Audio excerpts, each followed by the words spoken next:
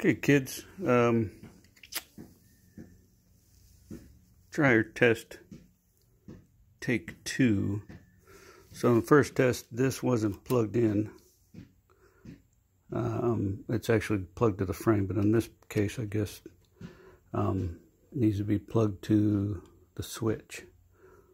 So I've got power here to four and five. I made this cable. Um, gonna plug it in and um, I'm gonna test it. And then I'm gonna test ohms across the switch one and six. Um, if it turns on the motor's good. If I read ohms other than this which is a, no continuity. If I read ohms, then the switch is good, and then the motor's good.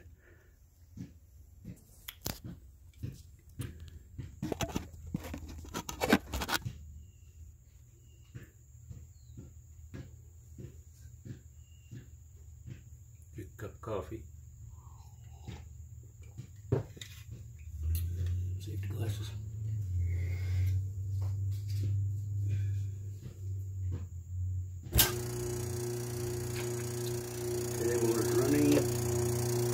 Good sign.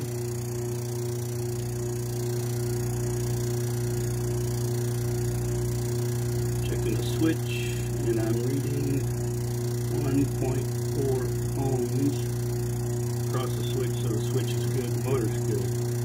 Something else on the dryer is wrong. Um, I'll have to start backtracking, see